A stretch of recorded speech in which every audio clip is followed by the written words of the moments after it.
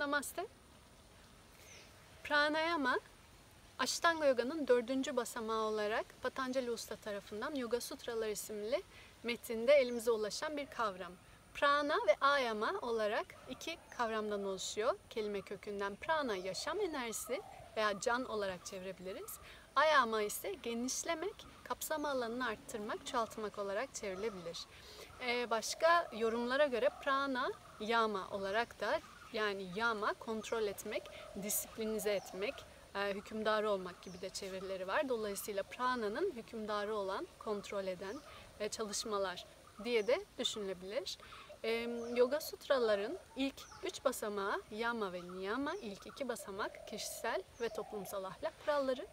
Üçüncü basamaksa asana yani bedenin içerisindeki pranayı, yaşam enerjisini yönetmeyi bize öğreten fiziksel postürler, pozlar. Pranayama için hazırlayıcı çalışmalarımız. Ee, yapılan asana çalışmaları yoganın nihai amacı olmamakla birlikte sadece bir küçük uzuv ve aracıdır. Ee, ve tüm asana çalışmaları da ilerlemiş öğrenci aslında başının üstünde veya elinin üstünde durmasıyla değil, daha sonra daha ileri seviye pranayama yani prana, nefes veya can, yaşam enerjisi akışını yöneten çalışmalara kendisini hazırlamıştır sayılır. E, bedende e, klasik metinlere göre 72 bin tane, bu çok büyük bir sayıyı eski zamanlarda belki belirtmek için veya özel bir anlamı olduğu için de seçilmiş olabilir. E, nadi yani enerji kanalı olduğu söylenmekte. Ve bu nadilerin enerji kanallarının arınması ve saflaştırılmasıyla bedendeki prananın yaşam enerjisinin hakimiyetiyle daha sonrasında Raja Yoga yani zihin e, disipline etmeyi ve terbiye etmeyi öğreten konsantrasyon, meditasyon gibi çalışmalara geçilebilir.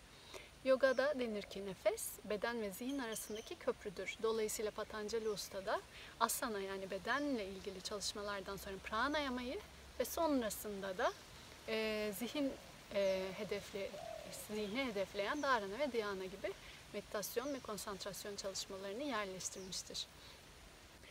E, nefes alış ve nefes veriş bedendeki sempatik ve parasempatik sinir sistemlerini uyardığı için nefesle yaptığınız tüm çalışmalar sizin otonom sinir sisteminizi dolayısıyla da e, tüm stres veya sindirim veya dinlenme gibi pek çok yaşamsal dengenizi belirleyen eylemlerin de içerisindeki e, enerjiyi yönetmeniz size öğretmiş oluyor.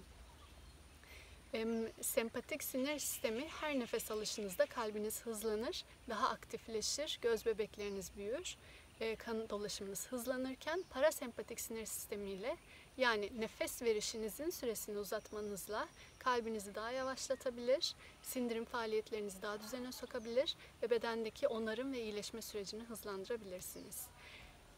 Pranayama asanadan sonra gelen bir başlık ancak götürmeye çalıştığı yer ise zihin.